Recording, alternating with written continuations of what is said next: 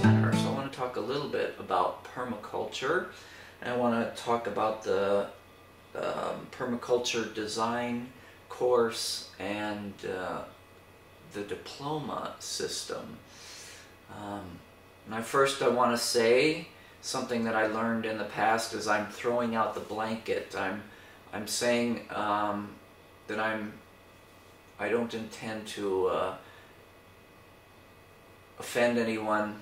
I'm only trying to make a comment on this. Um, I'm really happy and I'm glad for all of the people in permaculture right now that are out there um, teaching and doing and and uh, promoting permaculture.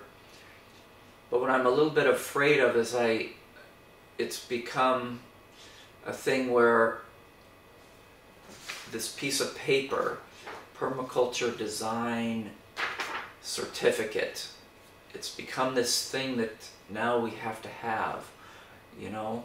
Uh, if we don't have our permaculture design certificate, then the whole idea for me behind permaculture is we're trying to get out of the box. Our society, mother culture, what everybody thinks. So we have this box and we're trying to break out of it. We have peak oil and we have global warming and we have economic crisis and we have all of these things coming together all at once. And for me, permaculture is kind of a doorway and a way of life into a new world, a new way of living, living with community, living with the earth, living uh, with each other so that we can grow our own food. But I, I'm afraid what I, what I see is that people are taking permaculture and they're making a money-making operation out of it. I've seen permaculture design courses anywhere from um, four or five hundred dollars up to twelve, fifteen hundred dollars, and the permaculture certificate um, in uh, England you can get it for about eight hundred dollars. But if you go to Gaia University, and again, I don't want to throw out these names and think that I'm bad-mouthing these people, but it's $3,495 for a permaculture design diploma. So with this diploma, now they're going to say, oh, you can't even teach permaculture. You can design, but you can't teach. So I'm just afraid of what's happening. Um, and I don't know what Bill Mollison had in mind with all this, but he says in some of his videos that I want to keep permaculture out of the universities. I want it to be freely available. And maybe I take the word freely a little bit too literally, um, but I am giving away my knowledge I don't have a permaculture design certificate, but I spend months every winter reading and learning about it, but I don't leave it there and I don't say, there's my paper, see, I'm better than somebody else. See, I know I'm going to have people that are get mad about this, but I'm trying to just put out my opinion. But we're making, we're going back into the box mother culture, having that piece of paper, having, yes, I have my permaculture design certificate and I have my diploma. I just am, I'm afraid of what I'm seeing out there that permaculture is going to become this money-making thing and I want to see it more organic. So I like uh, I found a man on the internet and I think he thinks the same way. His permaculture courses, it's in England, his courses are quite inexpensive. He also travels around the world. His courses are quite uh, inexpensive, but a project that he's working on is called the Free Permaculture Design um, Certification. Uh, I'm going to look up the link again for y'all and I can put it down there, but he's working on getting, he's filmed 150 hours of, of his permaculture courses and he's in the process of editing it down to um, to make an online course. Um, I don't know if we're going to be able to get certificates from that, but does it really matter? do we have the knowledge or do we have the piece of paper? Uh, I'm working on getting a grant. I live in Sweden, and unfortunately, here in Sweden, without the piece of paper, um, they don't really look at the experience. And that's the way it is. Uh, it's a public policy.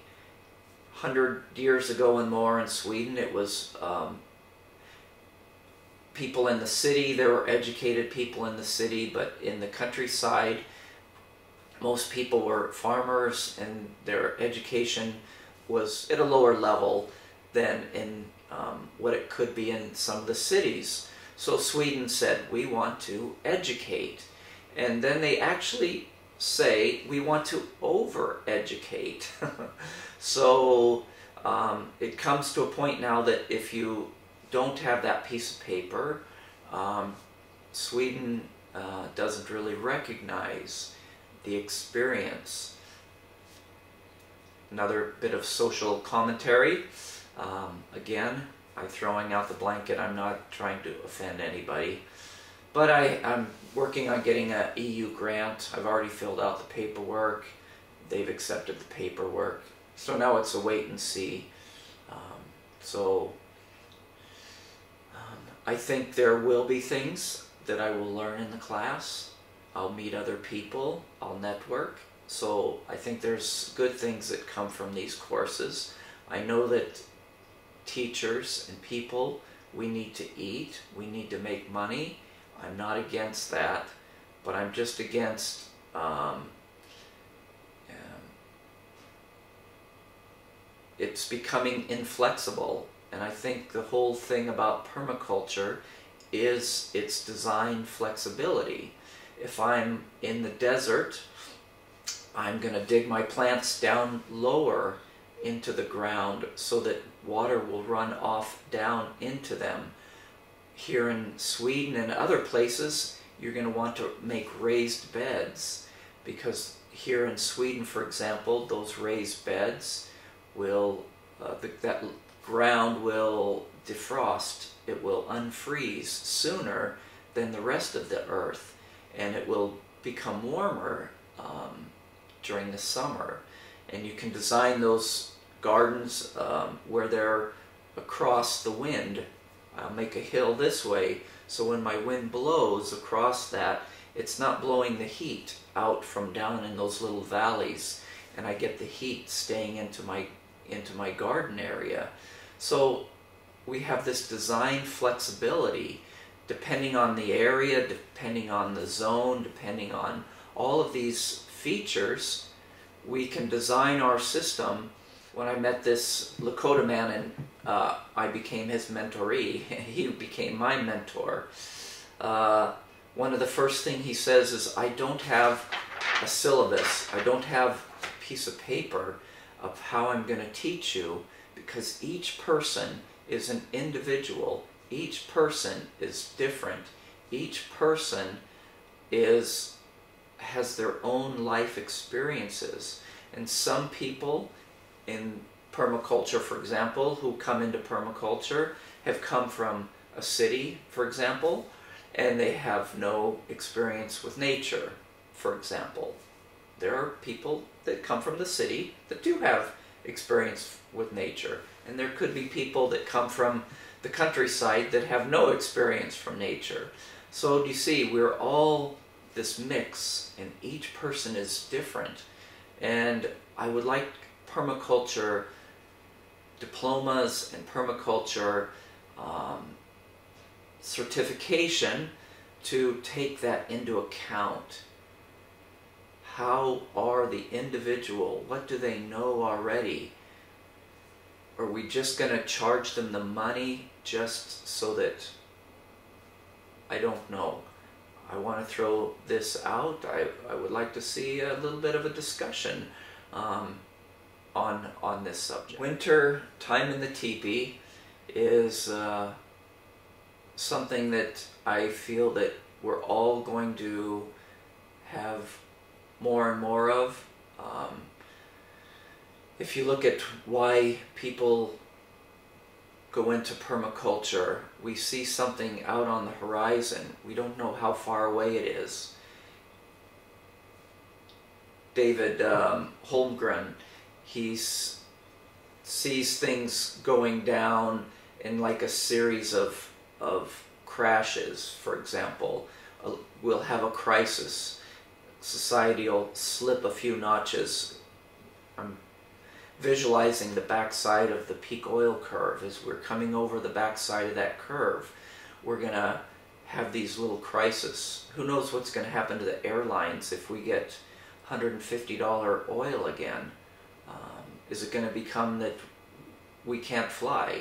Only the military. Maybe the military will have to quit as well. That would be good wouldn't it?